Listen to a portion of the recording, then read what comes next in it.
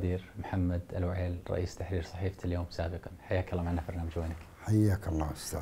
سعيد بتواجدك معي اليوم شرفتني في برنامج وينك وأشكر قبول قبولك دعوة برنامجنا. واسمح لي توجيه أول أسئلتنا. وينك؟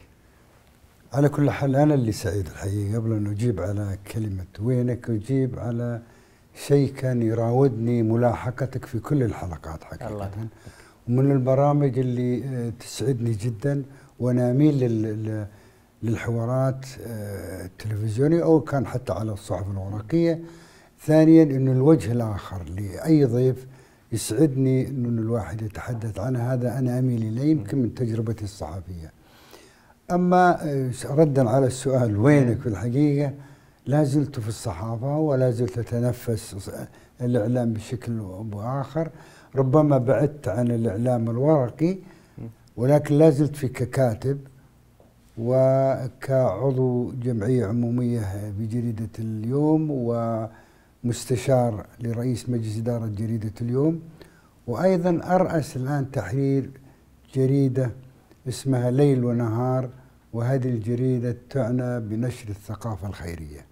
ويرأسها صاحب السمو الملكي الأمير سلطان بن سلمان بن عبد العزيز كرئيس فخري لهذه الجريدة. جميل. تجربتكم جميلة وطويلة أستاذ محمد وإن شاء الله يعني نمر عليها في هذا البرنامج. وأنا متأكد أنه ما نلحق نسأل كل شيء ونتحدث عن كل آه، مشوارك الصحافي والإعلامي. لكن خليني آه، أعود معك شوي للبدايات لمنفوحة الولادة. نعود يمكن ل سنوات قليلة. سنوات طويلة. على كل حال آه، ولدت في المصانع. قريبة لمنفوحة وأنسب لمنفوحة حقيقة لأن أنا قريب لبعض تقريبا. واعتز بهذه المنطقة إلى حد كبير. عشت فيها آه، وأنا طفل في الحقيقة وتركتها وعمري يمكن سبع سنوات أو ست سنوات. وانتقلت إلى الرياض. أنا ووالدي ووالدتي وإخواني الأكبر مني فهد وعبد الرحمن. وهكذا عشت في الرياض في شارع العطايف تحديدا. عشت فيه كثير من طفولتي و... ونزك الشباب ومراهقة الإنسان وفيه تعلمت الأشياء الكثيرة.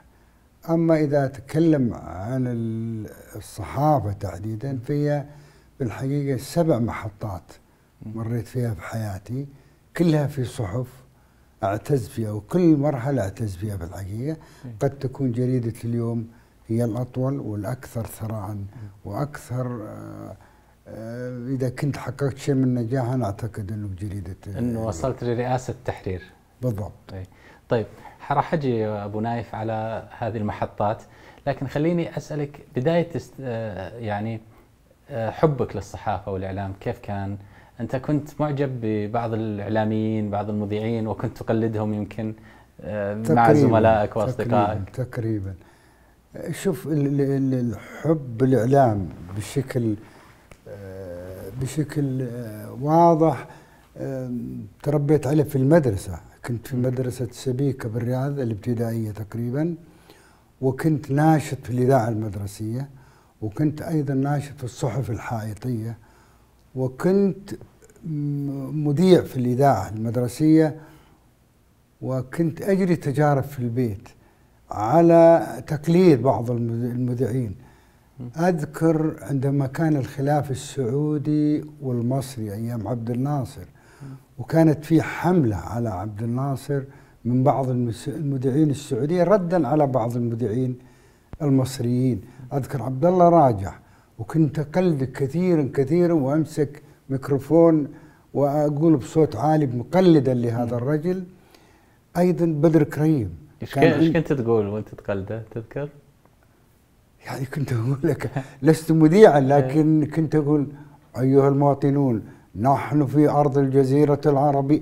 يعني بلغة ألامس لغة هذا المذيع المتمكن واعتز فيه انتقل إلى رحمة الله قبل فترة. وكان من ألمع الصحفيين وصوت مبهر جدا جدا وطبقات الصوت عنده مخارج الكلمة كانت جيدة عنده واستوقفني كثيرا بالحقيقة. آه، حسين آه، حسين آه، اظن مذيع حسين المذيع حسين النجار. حسين النجار أيضا كان له دور وكنت معجب فيه وذكائه عند وراء الميكروفون. بدر كريم مدرسة. مدرسة بكل المعطيات. وأذكر إنه أجرى معي حوار وأنا في الطائف في كنت أقضي إجازة الصيف عادة وأجرى معي حوار في برنامج كان له برنامج اسمه في الطريق. ومن الأشياء اللي قالها قال يا ولدي أنت مخارج الكلمة عندك كويسة وصوتك ستكون مذيع ذات يوم. طبعا أشبه غروري في تلك اللحظة لما اكون مذيع وإن كانت لي مساهمات إذاعية وقدمت برامج في الإذاعة يمكن برنامجين. وانتهت تجربة بسيطة تقريبا لكن نعود للإذاعة تقول بعدين. اشتغلت في الإذاعة كمتعاون. الإذاعة المدرسية. الإذاعة المدرسية كنت أقدم برامج الصباحية كانت عندي بالحقيقة ومكلف فيها. كان عندنا واحد مدرس اسمه عبد الفتاح مصري. تعلمنا بالحقيقة كل آه، لغة الإذاعة وملامح الإذاعة كيف تعد برامج. بالحقيقة كان مدرسة ولا زلت اعتز في هذا الإنسان. كنت أبو نايف تكتب حتى مذكراتكم اليومية أنت وأصدقائك وزملائك. كنت يعني اللي إذا طلعتوا البر إذا طلعتوا مكان مناسبة أو أنا أستغرب إنك من فين جبت المعلومه لكن نقرأ آه، بعض هذه حقيقة إنه كنت يعني أؤرخ رحلاتنا البرية مع زملائنا ورحلاتي الطويلة. أكتب في نصب على هذا اليوم عملنا كذا وتناقشنا كذا. حتى لغة الحوار بيننا انقلها ووجدتها عند صديق لي اسمه آه، حسين بن عيد زميل وصديق طفولة. وجدت انه هذه الأوراق ما كانت عنده عنده هو. وإنه كل اللي كنت أعطيه كل ما أكتب أعطيه فرغ. فوجئت بعد فترة فترة طويلة يمكن قبل أشهر جاب لي الدفتر. قال تتذكر هذا محمد؟ كنت تكتب وش تقول؟ كنت أقول حتى الأشخاص اللي نقابلهم. في صباح ذات اليوم كنا في كذا في المكان الفلاني وقابلنا شيخ عمره كذا واملانا وقال لنا كذا ونصحنا بكذا والمشاكل اللي واجهتنا. نواقص الرح يعني كنت أسجل هذه. في ذلك السن ما كان كم كان عمرك؟ أنا أتوقع 16 15 سنة في ذلك الفترة بالضبط. ولا هم ميل للصحابه بس مجرد ذكريات وما أدري شلون. كنت أسجلها واعتزيت فيها الآن إنه يعني فعلا سجلت خطوات حياتي في طفولتي وشبابي وكذا. وما كان لي علاقة لا رياضة ولا كلها بس الفكر والكتب كتب كتب وكان أذكر واحد من أقاربنا الله يرحمه اسمه صالح بن سمحان كان وزير للأمير مساعد بن عبد العزيز. وكان يسافر البيروت هو عائلته سنويا. وطلب الوحيد إنه يجيب لي المجلات يجيب لي 20 الموعد وما أدري من المجلات كذا وصدقني أعتكف في بيتنا فترة طويلة قراءاتي. أكتشف إني أنا لبناني الهوية يعني إيه. من خلال قراءه المجلات إيه. اللبنانية و إلى آخره. أنا أعتقد هذه تبقى في الذاكرة. ما ممكن تسقط من ذاكرتك. مهما زاد حجم تجربتك ولا تبقى هذه المواقف ما ممكن تنساها. جميل. أبو نايف آه، دخولك المجال الرياضي في بعد سن أو في فترة ال 17 18 لعبت في نادي النجمة؟ النجمة اللي في الرياض. اللي في الرياض إيه؟ نجمة الرياض. هذه منتج للحارة بالحقيقة نادي النجمة. نحن شباب مجموعة. آه، أذكر منهم من بيت آل الشيخ مجموعة وترأس النادي المرحوم عبد الرحمن بن حسن آل الشيخ وشكيكو عبد اللطيف آل الشيخ وسعود الجار الله مجموعة من الزملاء. وكلنا كنا في نادي اسمه نادي النجمة. لعبنا عدة سنوات ومثلت النادي. وبعدين آه، صدر قرار الأمير خالد الفيصل عندما كان مديرا عاما لرعاية الشباب. بدمج النجمة مع مع الشباب. هنا اعتزلت الكورة وبطلت الكورة ليس ما عاد أبغى الكورة وفعلا تركتها. ولجأت المحطة الأولى القراءة والعبث وقراءة الصحف والسفر. يعني أذكر لك أني أسافر للقاهرة أجيب كتب من القاهرة وصلت خوفا من عدم دخولها المملكة. أرميها قبل ما أوصل. خوفا إنها تمس. يقول تعال فين جبت الكتب؟ وكانت قراءة يعني مثرية في الواقع وأثرتني. جيت للرياض جلست بطلت كورة فوجئت إنه عبد الرحمن بز... لا كنا في نادي النجم إنه مارس الصحافة الحائطية أي. وكان عندنا نشرة وكنا ننفرد فيها نشرة أسبوعية. نوزع على الصحف أنا وزملائي آه، في النادي. ولأني تركت الكورة عبد الرحمن بن سعيد الله يرحمه يعرف إني من الوجوه اللي تهتم في الإعلام وعندي اسم في هذا الجانب أنا وعبد اللطيف بن حسن آل الشيخ في نادي النجمة. وكنا بارزين في كتابة الصحف الحائطية. وكان يرأسنا اظن علي الغامدي سكرتير النادي من ألمع الوجوه الإعلامية في تلك الفترة فترة. اللي حصل أن أبو مساعد طلبني في رسالة شخصية عن طريق شقيق الأكبر عبد الرحمن الوعيل وطلب أن يقابلني ورحت شرفت وسلمت عليه. قال أخ محمد إحنا محتاجينك في الجريدة في عندنا في نادي. ليش؟ قال في الشأن الثقافي. قلت إيش أسوي؟ قال لنا عندنا نشرة ونباك تجي. وأنت الآن العصر تعال عندنا. قلت طيب ما عندي مانع. صرت أروح للنادي الساعة واثنين وأجلس إلى عشرة في الليل. واشتغل فوجئت. إنه اللجنة الثقافية في تلك الفترة في نادي الهلال أسماء كبيرة ولامعة. كنت أقرأ عنها في الصحف. الأستاذ يوسف الكويليت الأستاذ يوسف القبلان الأستاذ عثمان العمير الأستاذ المرحوم محمد الجحلان الله يرحمه الدكتور إبراهيم الجوير. مجموعة. وين أنا يكفي إني أجلس معهم بس. أنا أظن كان موضوع مغري لك. مغري لي ان هالكوكب ان تكون زميل لهم صرت أجي أكثر وما أدري. فوجئت بعد يمكن شهرين ثلاثة أبو مساعد ارسل لي رسالة محمد بما إنك تجي العصر في النادي لماذا لا ترجع تتدرب تلعب. كرة إيه. القدم؟ بس قبل موضوع اللعب أنت كنت توزع نشرة نادي الهلال على الأندية الأخرى اي كنت تاخذها على كتفك؟ أي كنا كم أنا وأظن والله أظن محمد الجحلان الله يرحمه على بسكليتات كانت عندنا نوزع الجريدة لأنه نبغى نبرزها بيننا. وكانت فعلا الجريده أما جاء نشرة هي عبارة عن ثمان صفحات ملون أزرق وأبيض ونفخر شيء منتج لنادي الهلال. ثقافي كان ما لا في عن أخبار عن النادي إيه. وفي نقد للوسط الرياضي يسمى زاوية أظنها رتوش وما أدري اسمها كده. كان كلها نقد على الأندية والنادي اللي يقول رأينا فيه مو بكويس ما نوديها لكن يعرف يروحون النادي اللي ما يدور على النشرة لأنه أكيد ما جتنا اليوم فيها ضدنا.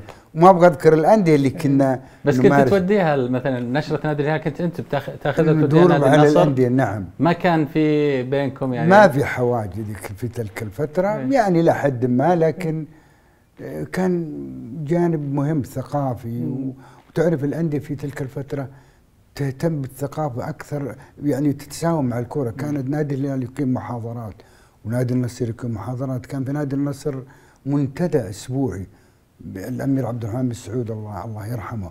كان استضافة عبد الله بن خميس يعني كان في شأن ثقافة. عبد الله الشيل أذكر. المهم إنه كتب لي عبد الرحمن سعيد رسالة إنك بهالمنطقه تجي أنا كذا والهلال وما الهلال.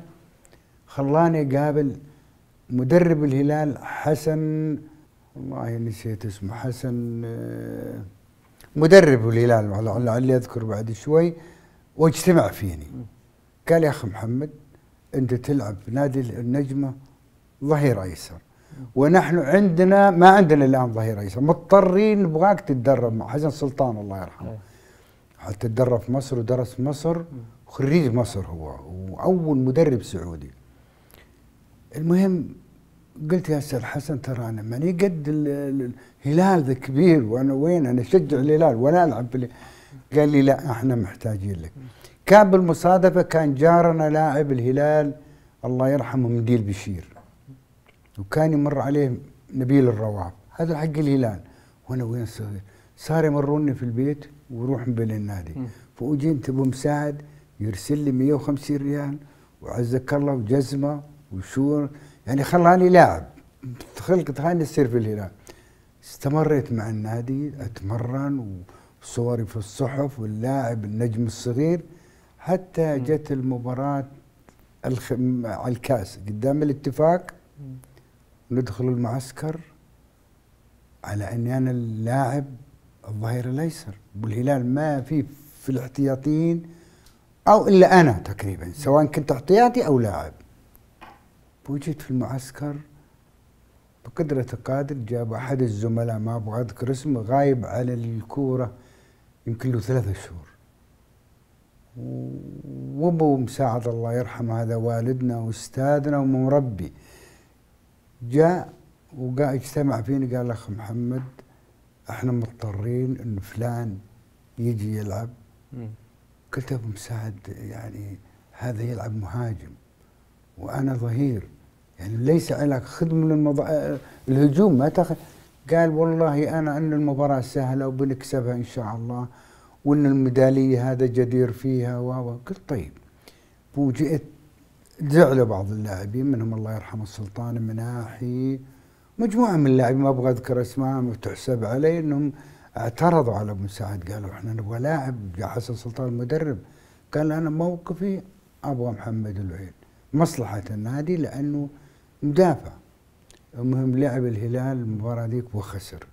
أذكر إنه الامير هذلول بن عبد العزيز الله يرحمه جاني في المعسكر وخذني الظهر مباراة العصر أظن. أنت زعلت طبعا أكيد. وطبعا زعلان إيه. زي جاني الساعة 12 قال لي محمد بطلع وياك مشوار. أنا عرفت المشوار. خلاص أنا واركب معه ويعطيني مبلغ معين كهدية واركب مع السيارة قدام. أنا مع ولد عبد العزيز وراح للملعب والجمهور يصفر طراخ طراخ إيه. خلاص كفتك هذه كفتني. والعب المباراه ما لعبت المباراة طبعا ورحت أنهزم الهلال من الاتفاق. أنا من اللحظة دي اعتزلت كرة ما عاد أبغى الكرة. فوجئت انه مجلة اليمامة اللي كان مسؤول عن الرياضة فيها عبد الرحمن السمار الله يذكره بالخير أبو شيخة. أي. هذا الصحفي اللي ظلمت الصحافة بالحقيقة وما أخذ حقه كما ينبغي. فوجئت أنه ينزل صفحتين على الست أعمدة لماذا أبعد الوعيل من المباراة؟ من هو المتسبب في إدخال اللاعب فلان؟ أنا ما أبغى أذكر اسمه. طبعا اعطتني هذه شهرة للصفحتين وين؟ وتدلوا الناس يتوزعوا اللي الحاقدين على الهلال والكارهين للمجلس إدارة الهلال يوزعون هذه كمنشور. طبعا صارت من صالحي لكن في الحقيقة كونت عندي إنه أحيانا إدارات الأندية مزاجية أكثر منها مصلحة النادي أو إلى اخره الله يذكر أبو خير أبو مساعد. ويرحمه والدنا جميعا لكنه اعتذر لي في الأخير واستدعاني وقال لي يا محمد أنا أخطأت في حقك وأنت ولدي وأنت. قلت ابو مساعد أنت اللي جبتني وأنت اللي طلعتني. انسى الموضوع والله يرحمه طول عمر الجميع إن شاء الله.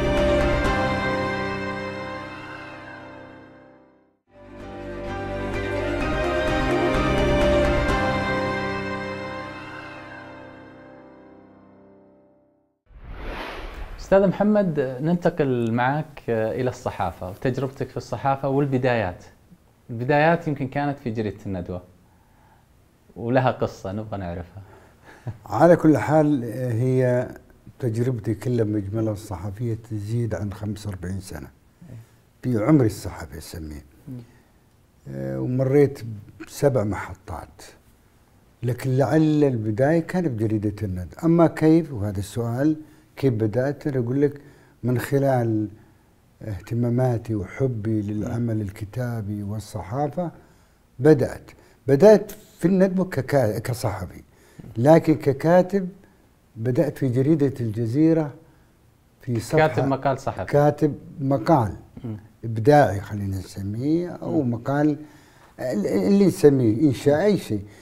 كتبته عند سليمان العيسى الله يرحمه هو كان مسؤول عن صفحة الشباب في جريدة الجزيرة. أرسلت له المقال سليمان الله يرحمه كان صديق حارة نلعب نيا كورة وإلى آخره. وكان كابتن الله يرحمه في في الحارة. فنشر لي المقال.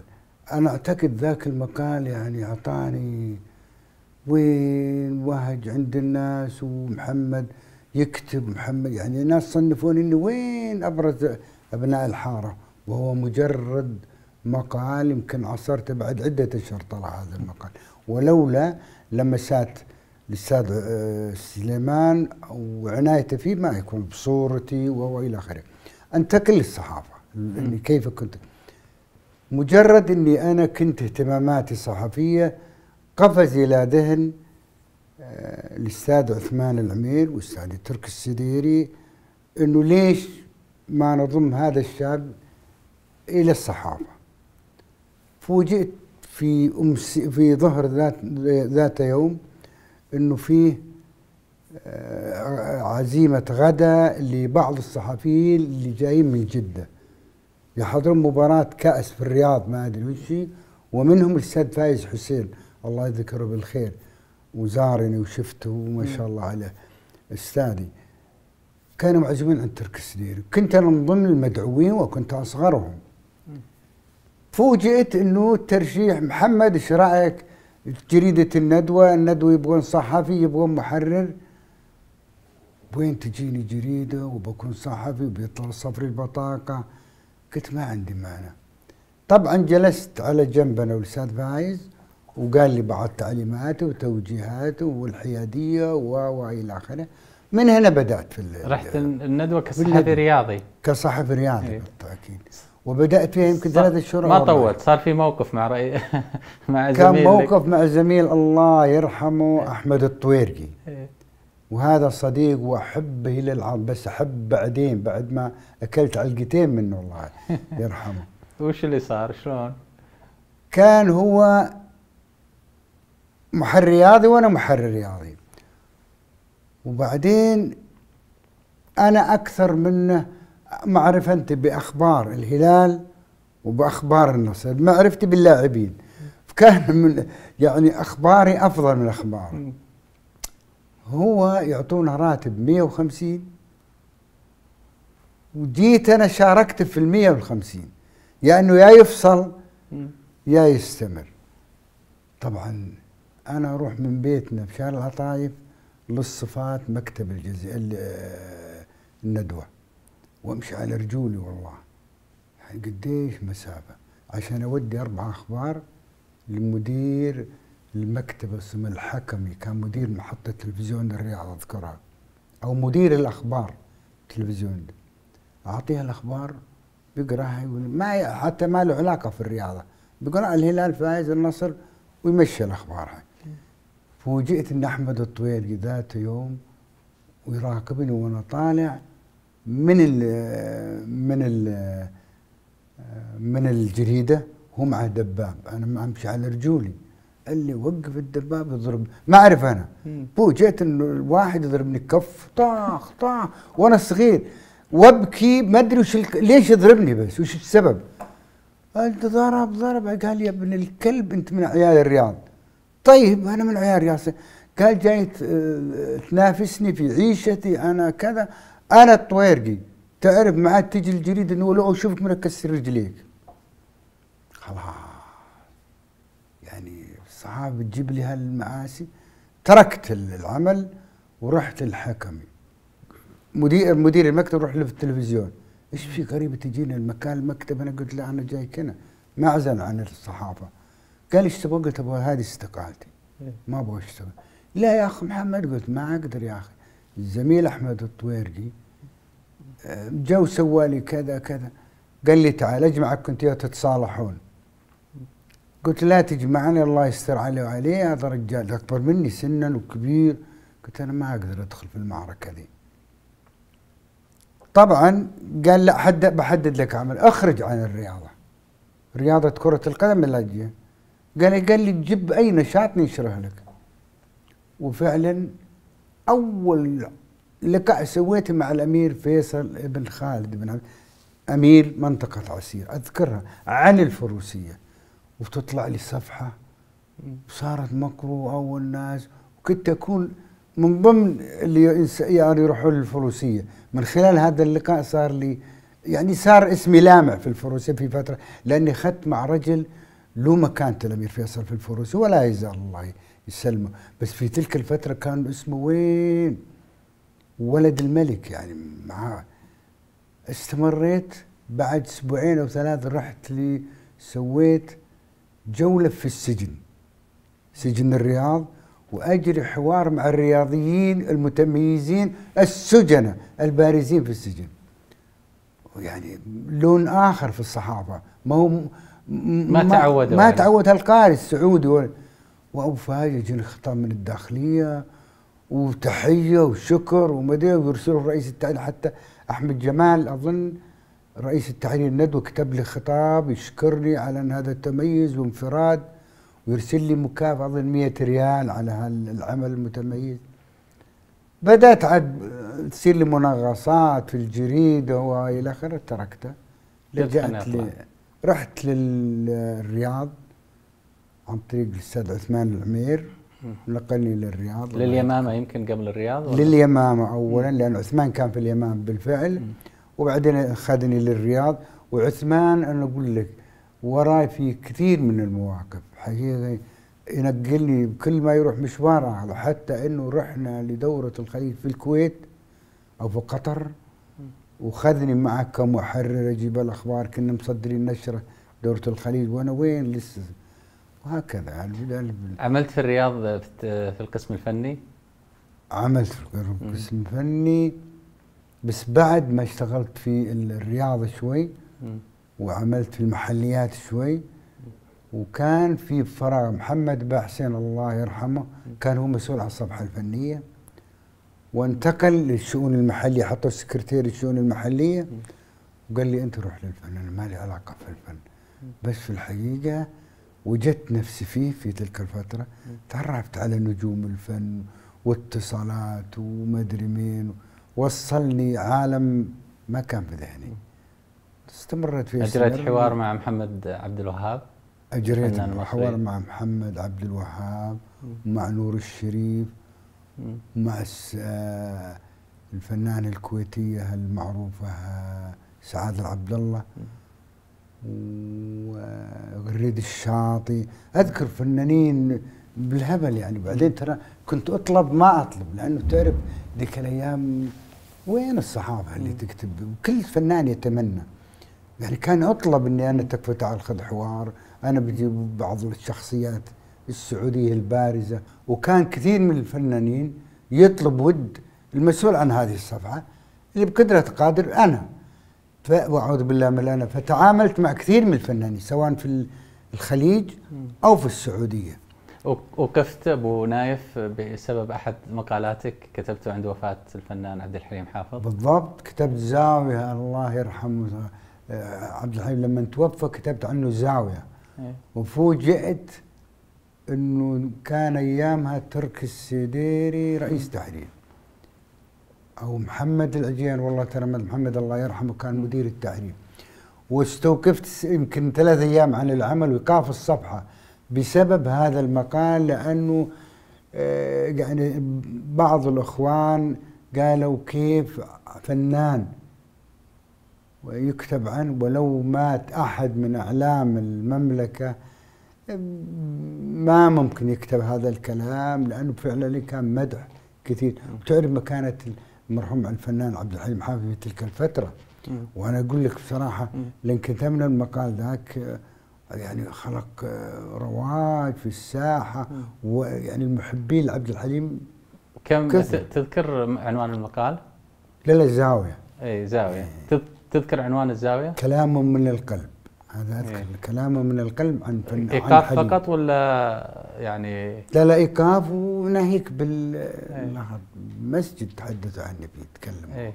أحد المساجد أنبر أحد المساجد وقال عني كلام الله يرحمه مات الإمام هذا وأنا أبغى أذكر اسمه معروف يعني معروف لأنه قال عني كلام ما حتى الكلام إيش قال؟ حتى يعني قال كلام ما ما ودي أذكر يعني طيب ننتقل إلى تجربتك بعد الرياض. يمكن رحت لندن قعدت سنتين هناك مع عثمان الأمير.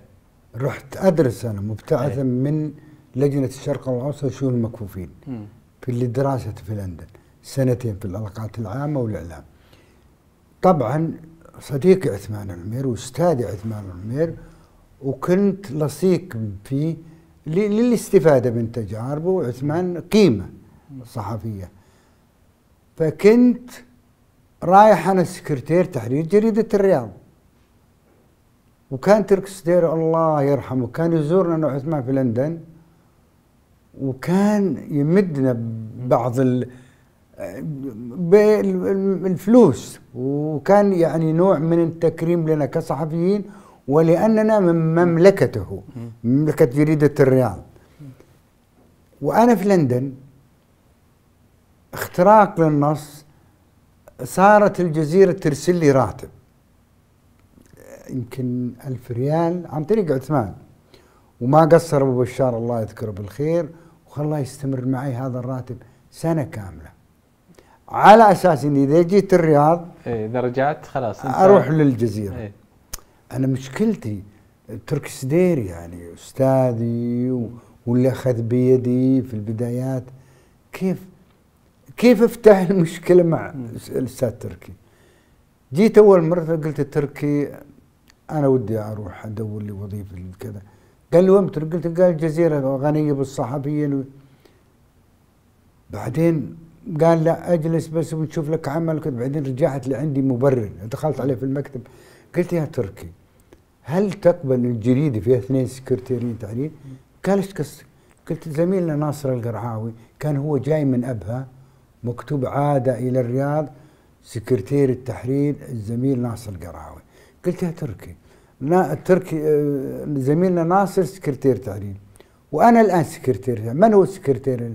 قال الجريدة تستوعب اثنين ثلاثة سكرتير قلت والله تركي اعفني من العمل وأرجو قال إذا تلقى لك وظيفة أفضل ابدا. رحت وقلت لعثمان ونقل كلامي أو معاناتي أو هذا التوجه للأستاذ خالد وتشرفت بالسلام عليه واجتمع فيه وقال لي تعال أنا أعطيك منصب سكرتير مدير مدير عام التحرير. سكرتير عام التحرير. ليش يا أستاذ خالد؟ قال لأن عندي اثنين سكرتير في التحرير. قلت والراتب قال معطيك 6000 وين 6000 وأنا غير متفرع يعني تجي المتعاون في تلك الفترة. جيت لتركي قلت أبو عبد الله كذا كذا كذا. قال لي ابدا. الله يوفقك.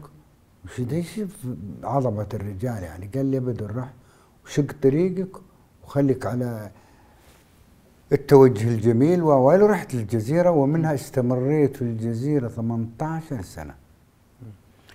متنقلا بين سكرتير تحرير لمدير تحرير وحتى وصلت إلى نائب رئيس تحرير في وقت محمد بن عباس.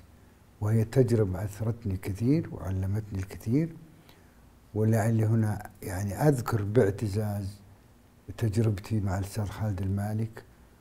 وقد استفدت من هذا الرجل في إخلاصه في العمل في آه، حبه للعمل. الرجل الوحيد الذي كان يأتي مبكرا ولا يطلع إلا متأخرا في الجريدة كان يثابر عن يعني أنا أعتقد كان حتى مضحي في فترة من الفترات بهلة. يعني كان عاشق للمهنة. ولن أنسى بالتأكيد تركي السديري يعني لا. الاثنين ذولا يعني يعتبرون محطات مهمة في حياتي وهم اللي فعلا يعني خلوني أعي معنى الصحافة أعني التجربة الكبيرة أثروني بثقافتهم أثروني بتجاربهم. في مواقف لك مع الراحل تركي سديري كثير كثير تركي الستيري أولا زاملته في كثير من الرحلات الملكية أنا وياه سوا يمكن بعهد الملك عبد الله الله يرحمه كل الرحلات كنت سويا.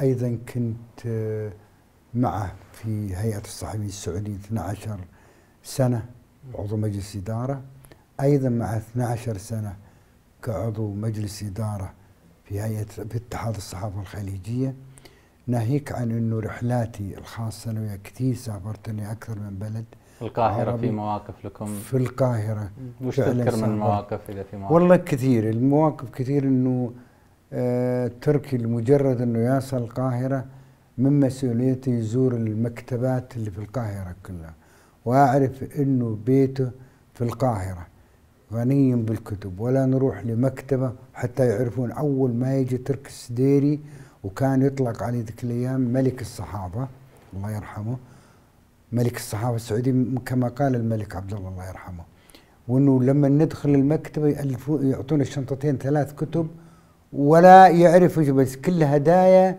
وكتب حديثة وقويه والله العظيم إنه أنا أقول لك والناس تقول تركي سدير يذهب إلى القاهرة للاستمتاع ويرتاح. صدقني حول كل رحلته إلى قراءة. تركي رافقته في كثير من الرحلات. لا بشنطته تقريبا لا في, في الذهاب ستة كتب. وفي العودة يستضيف ستة كتب ويقرأها كلها. وقراءة تركي تراثية أكثر وتاريخية. جميل. تركي يعني رجل استثنائي في قراءاته. في أحاديثه التركي مقل بالكلام في الطائرة. دائما يعتمد القراءة على الكتاب كثير كثير صديق للكتاب. وهذا الكلام لعل الكثير ما يعرف بس أنا أقول له لأن احتكيت بهذا الرجل وعرفته عن قرب.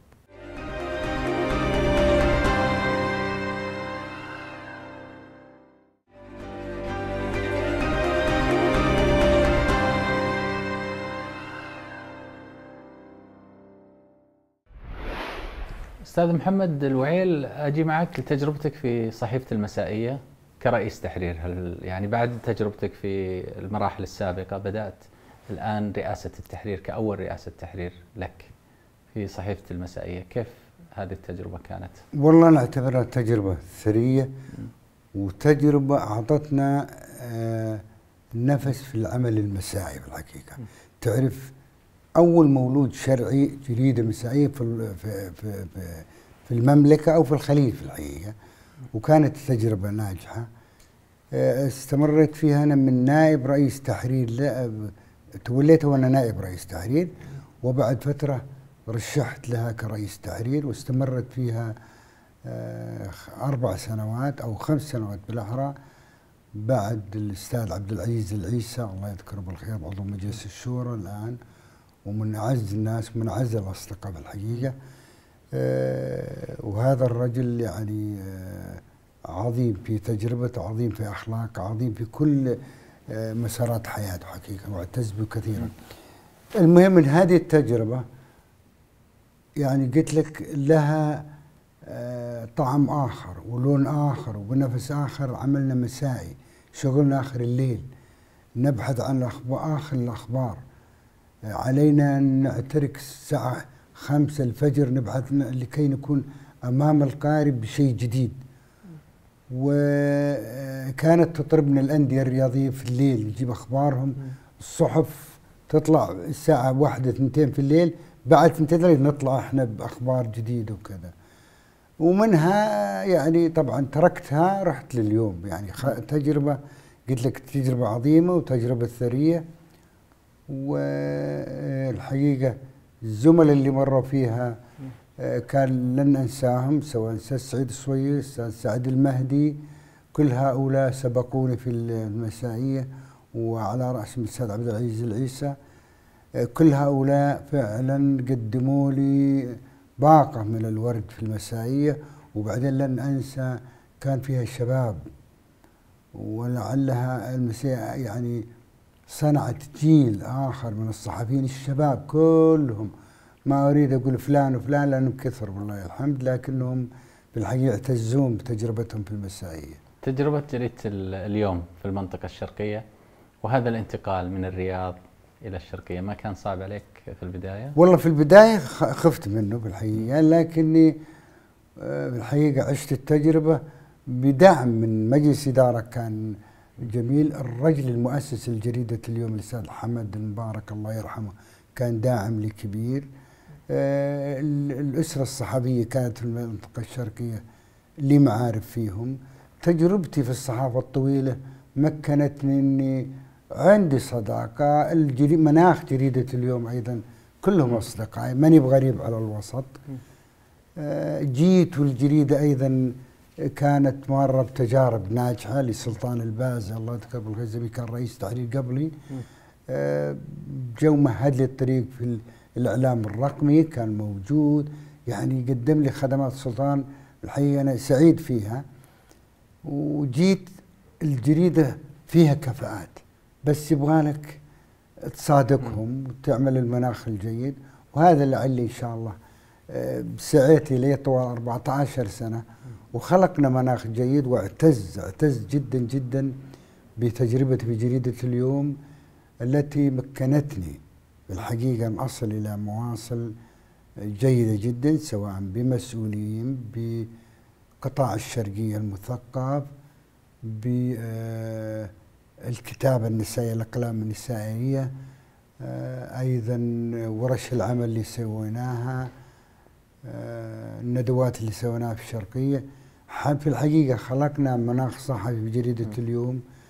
على الأقل أنا أعتز فيه كنت راضي على هذه التجربة. أنا راضي عليها وتجربة أثرتني ومنحتني شيء من النجاح لحياتي الصحفية اللي أنا أعتز فيها في جريدة اليوم. قصة الخروج من جريدة اليوم. والله آه، ما أقول اختلفت مع حد ولكن الرغبة في التغيير ورأوا أنه يغيرون. واعتقد إنه زميلنا سي عبد الوهاب جاء ونف مر عليه بنفس المرحلة تغيير وكل هكذا الحياة يعني فيها تغيير لكني أظل تركت بصمتي من المعارف من الأصدقاء في العمل الصحفي وأيضا سي عبد الوهاب ترك بصمته والقارئ والمتابع يقيم يعني. انتقلت بعدها لصحيفة عكاظ عملت فترة. جيت جلست لي شهرين في الرياض بلا عمل خلاص إني برتاح. فوجئت باتصال من أستاذي الكريم آه، هاشم عبد هاشم أبو أيمن وأقول أستاذي لأن أستاذي في كل شيء والله هذا الرجل عظيم بكل المقاييس. كلمني قال محمد أنا محتاج إنك تتعاون معي في الجريدة. قلت كيف؟ بأي صفة؟ قال لي أنا أبد بس مر علي ما يكون له خير. طلعت الجد وقابلته تشرفت بالاجتماع معه. قال لي أنا محتاجك. قلت إيش الصفة يا أبا؟ قلت أنا يعني أنا جاهز مستشار عن بعد جاهز. قال لا أنا ابغاك تشتغل معي قلت كويس ما عندي مانع. قال نائب رئيس تحرير. قلت يا أبو أيمن نائب رئيس تحرير من رئيس تحرير اصير نائب رئيس تحرير أعتقد قال لي وش اللي تؤمر؟ قلت والله لا حطني مش مستشار لرئيس تحرير. قال خلاص اعتبرها. بعد فترة قال لي استلم مكتب الرياض. استلمت مكتب الرياض. بالحقيقة من يقرب لهاشم عبد هاشم يستفيد بكل المقاييس. عشت ستة شهور والله كأني في دورة تدريبية رغم أني جاي من رئاسة التحرير. رغم تجربتك الطويلة أيضا. طويلة ورئيس تحرير يعني ماني 14 رئيس تحرير. أنا زميل هاشم في رئاسة التحرير مع فارق الثقافة والوعي والتجربة. لكني أنا زميل وكان هو يقول لي يا محمد يترك لي رئاسة بعض الاجتماعات. لقناعة للموقع نتساوى. لكني أنا أقولها للملأ وأقولها الآن صادقا أنا مدان لهذا الرجل. ولعلي خلال ستة شهور أنا كنت أتابع عن بعد وتابع نجاحات. ليش طلعت بعد ستة شهور يعني؟ والله مللت العمل شو خلاص يعني وصلت إلى مرحلة خلاص يعني إني أنا ما عاد أقدر أعطي. والأستاذ هاشم ما شاء الله طموحاته كبيرة ورغباتك في العمل الصحفي. ما يخليك تنام يتابع الصحافة بشكل يومي. ولا ودي إنه يكتشف إني أنا ما عاد عندي قدرة ودي أنسحب بذكرى طيبة مع هذا الرجل الطيب. هذه المدرسة التي اعتز بها فعلا سواء كنت رئيس تحرير أو متابع لأن كنت أنا من المتابعين لنجاحاته. وأنا في كل مواقع الصحفية واستفدتها عن بعد والله. لكن لما قربت زادت مساحة الحب لهذا الرجل والاحترام لهذا الرجل. أعز تجربة صحفية كانت وين؟ في الجزيرة بالتأكيد. ضيف الجزيرة. طيب سنأتي على ضيف الجزيرة بعد الفاصل. طيب.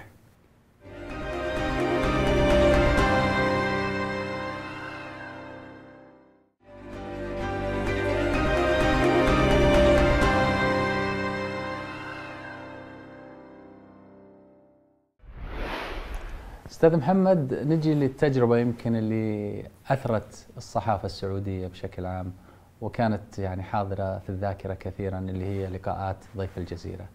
كيف بدأت معك هذه الفكرة؟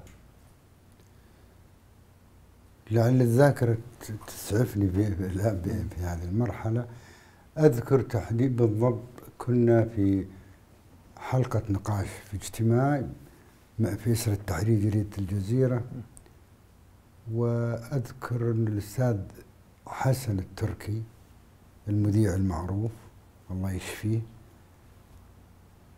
كان كبير مذيعين إذاعة الرياض. طرح اسمه ضيف الجزيرة. وتبادلنا حوله أنا وياه الفكرة. وفعلا يعني أقنعني وأقنعته نقلت هذه الرغبة للأستاذ خالد المالك. والذي بارك المشروع وقال بالعكس أنا معك والفكرة جيدة وعليك أنك تتعب لها حتى ولو تفرغت لهذا العمل يجب أنه بس تطرحه طرح يكون كويس عام كم هالكلام تذكر؟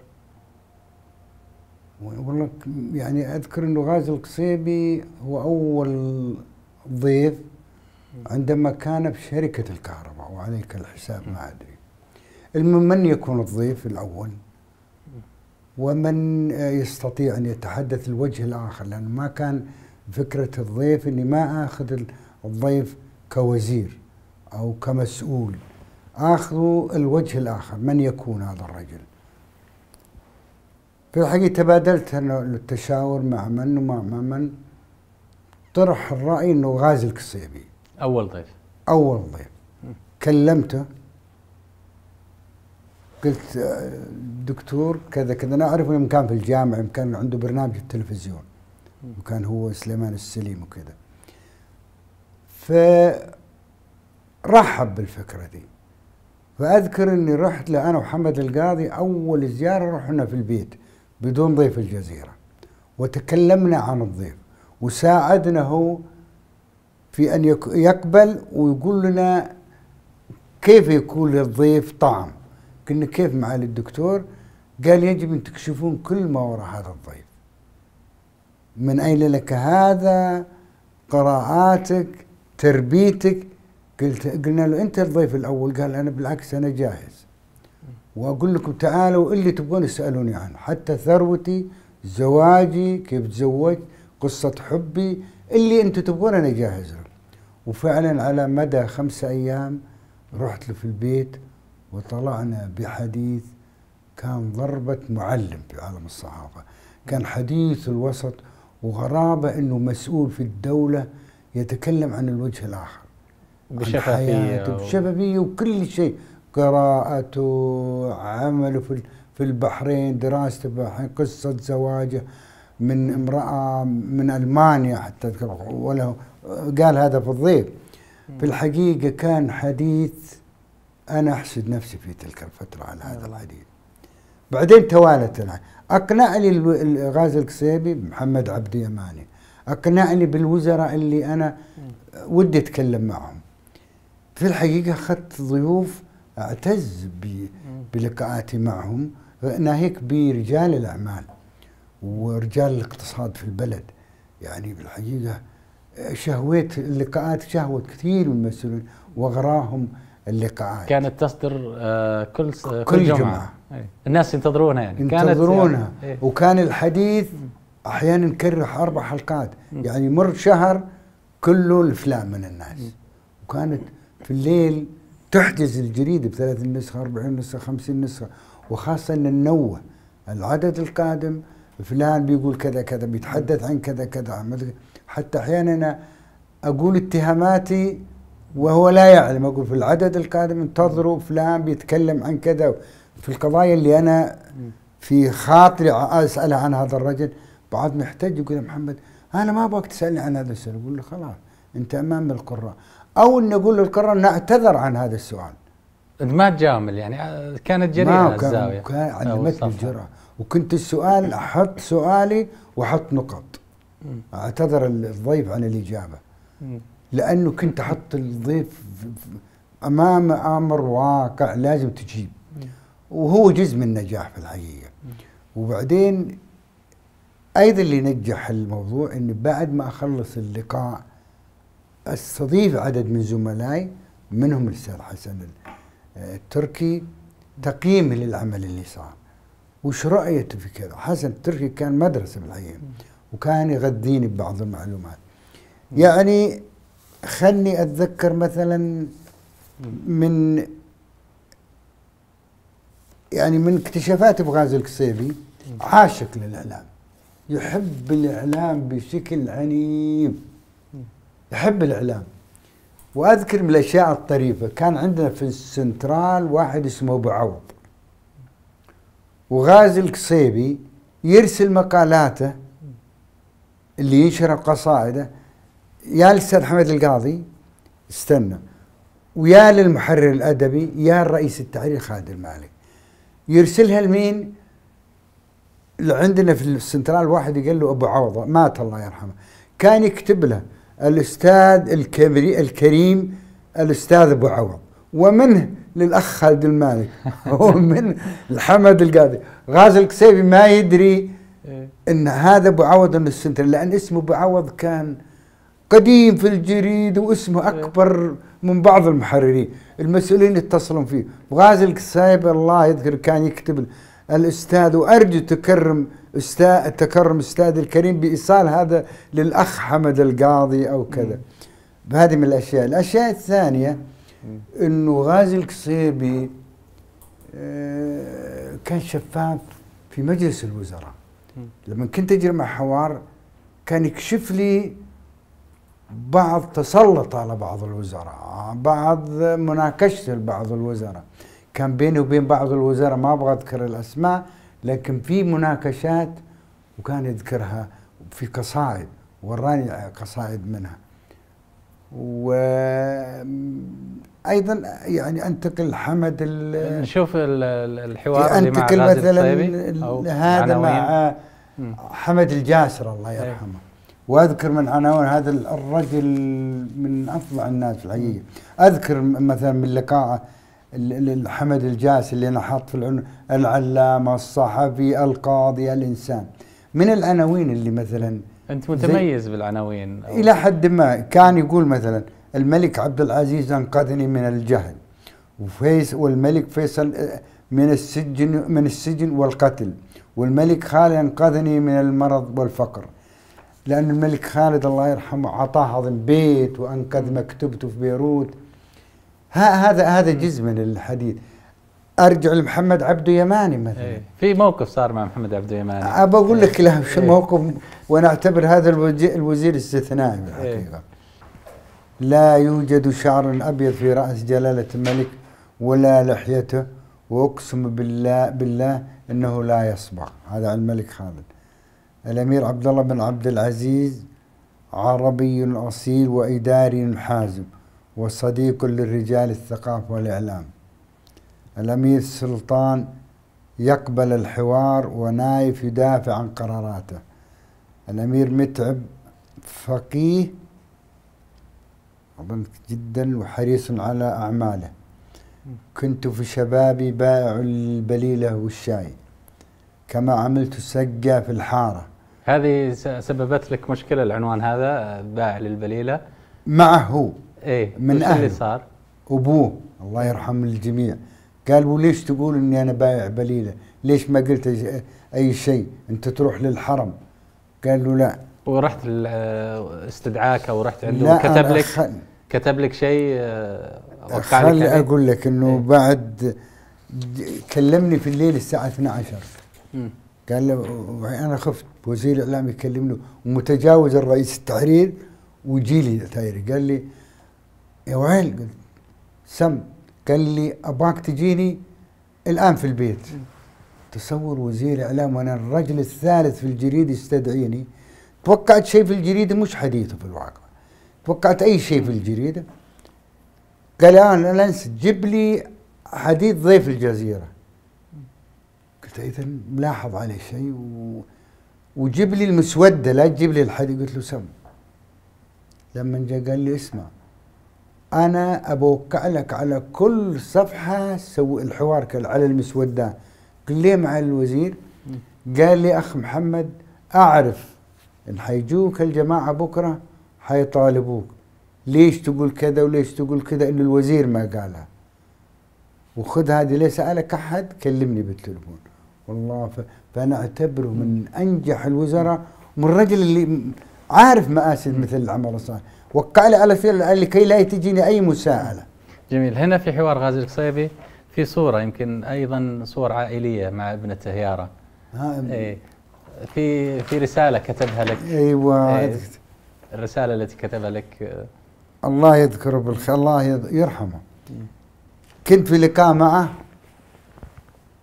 وأجريت الحوار معه وتكلمنا كثيرا وعرفني على أبنائه. وكانت معنا طفلة طفل طفلة صغيرة اسمها يعني ابنته. قدمها لي وجلسنا نحن. وهي صغيرة يمكن عشر سنوات كذا وما أدري.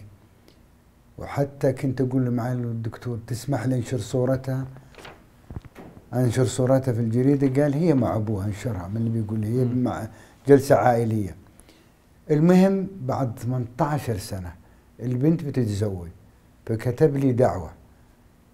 أخ محمد هل تذكر الطفلة؟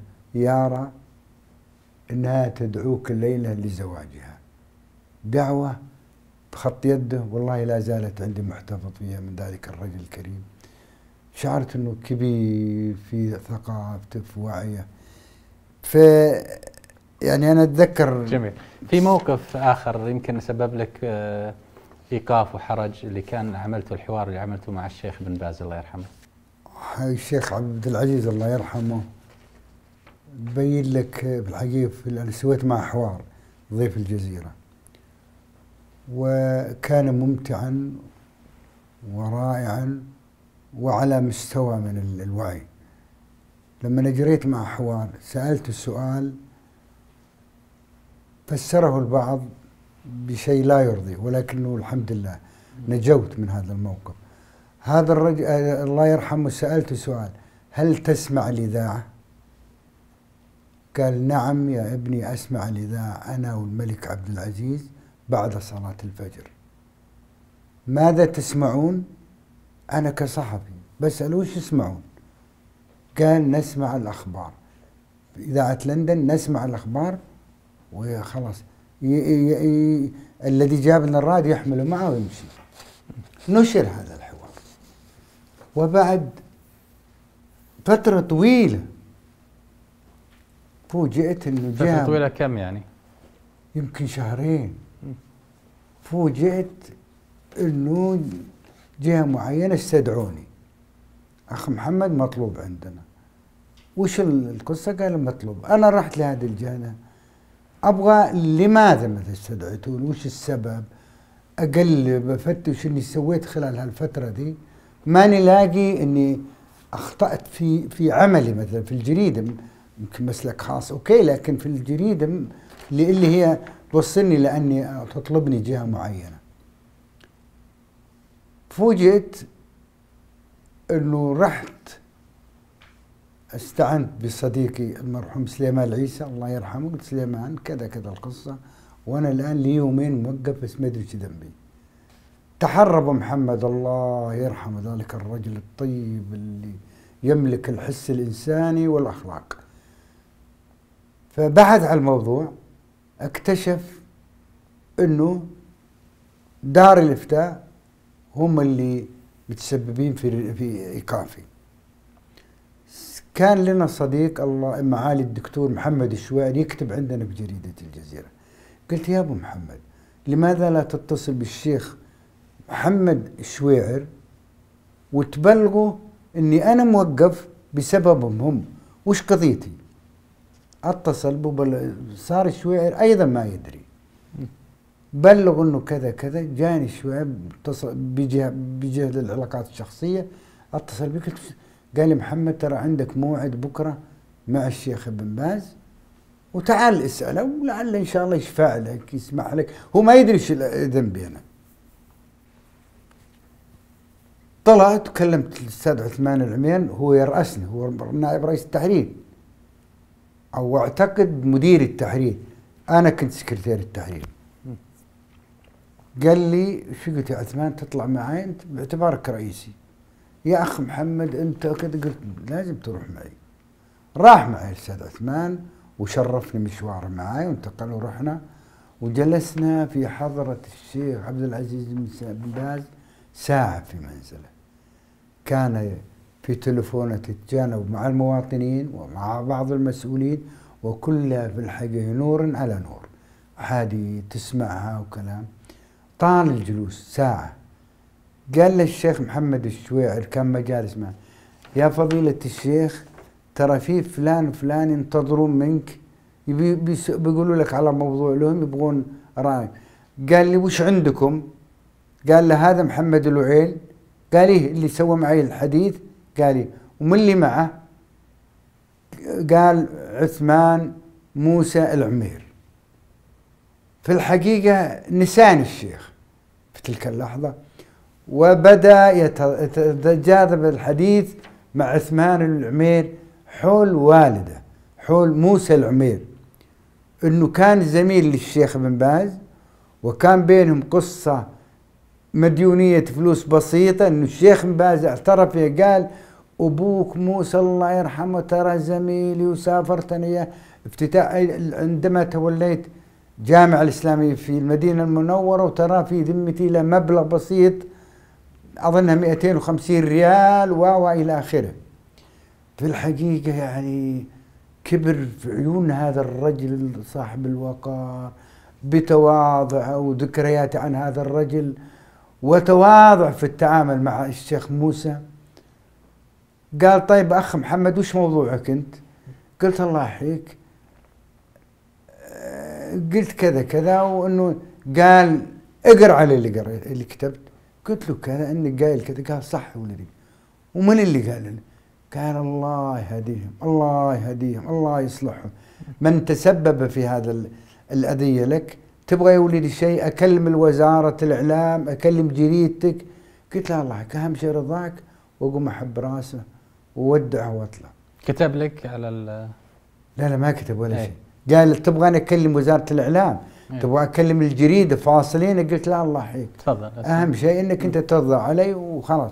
واعتبر الموضوع قال ابدا وإذا جاك شيء تعال لي الاستاذ عثمان لما طلعنا بصراحه يعني فوجئ بكلام عن والده وشكر الشيخ بن باز شكر عظيم. وقال الحمد لله إن لوالدي هذه القيمة التاريخية وهذه القيمة المعنوية اللي رفعت من قيمتي أمام مفتي المملكة ورجل بقامة عبد العزيز بن باز يتحدث عن والدي أنا أعتبرها شهادة لي ولا زلت أذكر هذا الكلام الأستاذ عثمان باعتزاز قالها عثمان. وفي الحقيقة حديثي مع ابن باز الله يرحمه آه، تناقلت الصحف وأعتقد طبع بلغات بس أخرى. الشيخ عبد العزيز قال لك أنا أوقع لك يمكن على الكلام اللي اللي أنا كتبته. قال لي أوقع لك. إنه يسمع المذياع إيه الأخبار أو إي قال قال لي تبغى ورقه أعطيك إيه تبغى أوقع لك؟ قلت لا الله طيب وش طلع الموضوع؟ من مرسل خطاب من الإفتاء؟ ما أدري جهة من الإفتاء والله ما أدري عاد يعني. ما أبغى أقول من واتهم احد لكنه جاي من الإدارة هذه من دار الإفتاء والقبل فأعتقد كان مؤلم تسمع مثل هذا الكلام وتشعر إنه أنت يعني يتعبك مثل هذه مثلا من باز. بس الحمد لله أنه وصلت رجل كريم في أخلاقه في رؤيته في ثقافته.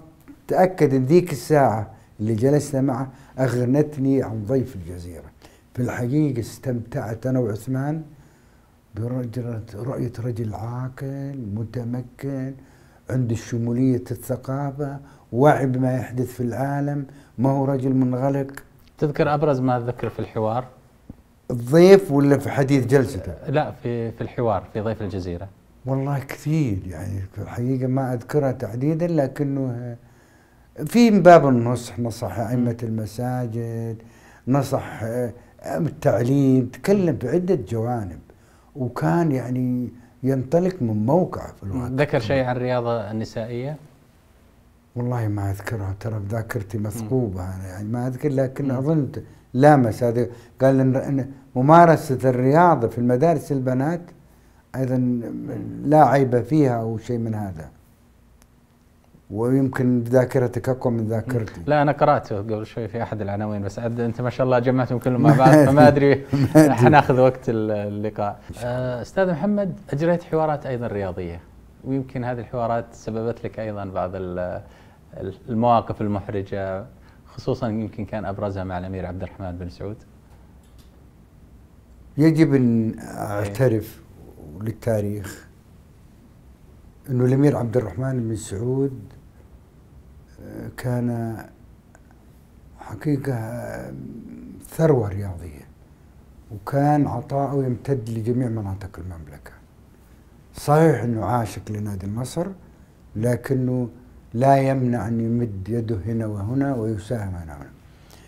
الأمير عبد الرحمن سعود كان مطمع لكل الصحفيين وأصدقك القول يعني كان عندما نشعر إنه عندنا افلاس من القراءة وما وقلة المقروئية نلجأ لأبو خالد ونثير مع أي سؤال نجد إنه قراء يضافوا لنا قراء. أيضا أبو خالد ترى كان له زاوية مشهورة بصراحة. كانت مشهورة على مستوى العالم العربي والخليجي. أبو خالد كان يصنف من الأقلام المؤثرة في الشارع الرياضي. حقيقة. قدر لي أن أجري مع حوار ضيف الجزيرة وتحدث طويلا في الضيف تكلم لي عن عندما كان حارس مرمى في الناصرية وعندما آه، آه، يعني كان يمارس الرياضة مع مع زملائه وأصدقائه في آه، في الناصرية وكان علم في كل المقاييس. ضيف الجزيرة الحقيقة يعني آه، أمتعني جدا لأنه تكلم عن آه، أشياء يملكها أبو خالد يمكن القراء ما يعرفوها أو الوسط الرياضي ما يعرفها في تلك الفترة على الأقل آه، كان يتكلم عن الشعر كان شاعر وغنيت له أغاني كثيرة. أبو خالد كان ألف وكاد أن يألف قصة. أبو خالد يجيد الحوار.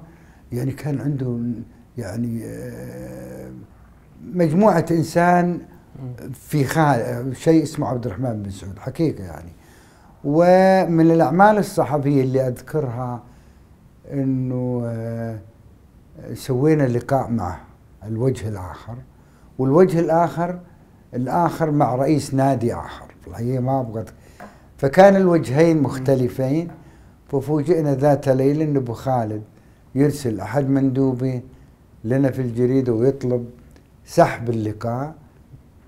لما نعرف أن الطرف الثاني ذلك الرجل فقال لا أريد أن يكون بيني وبين هذا الإنسان أي تصادم.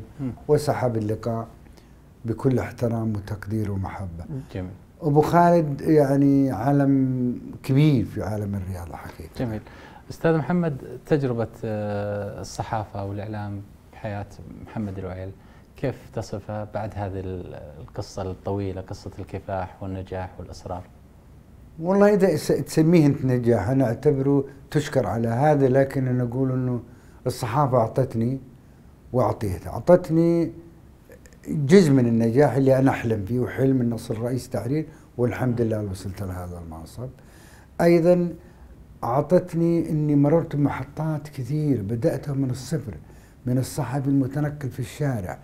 إلى أن أكون مسؤول قيادي في كثير من محطة وكلها على الأقل تركت بصمتي سواء كانت ناجحة أو غير ناجحة أستطعت أني أنا ما أقول لك أثر في بعض الزملاء لكني كونت بعض الكفاءات الصحفية اللي هم يعتبروني زميل لهم وصادق مهنيا معهم. الحمد لله عندي من أبنائي اثنين ما هو بخريجين مدرستي لكن على الأقل جزء من نجاح الصحافة استهواهم والحمد لله هم الآن أساتذة في جامعة الملك سعود كلهم معيدين ومحاضرين في الجامعة في الإعلام الحديث الإعلام الرقمي لابن نايف ولابن مشعل وكلاهما يعني الآن كلهم ممتهنين هذا العمل الإعلامي ليس لي تأثير لكن يمكن امتدادا لعشقي لهذه المهنة ولأني أقدر أقول محترف في هذا العمل. الآن المحطة الاخيره اللي أنت ما سألتني عنها وكنت أتمنى أنك تسألني لأني أرجو أن على الأقل يقدرها لي الوسط اللي أنا تعاملت معه هي أن أنا أسست جريدة ليل ونهار وهي جريدة خيرية تعنى بنشر الثقافة الخيرية. وهذه الجريدة يرأسها فخريا الأمير سلطان بن سلمان بن عبد العزيز. هذه الجريدة طموحي طموحي حقيقة أن تصل إلى ما أطمح إليه.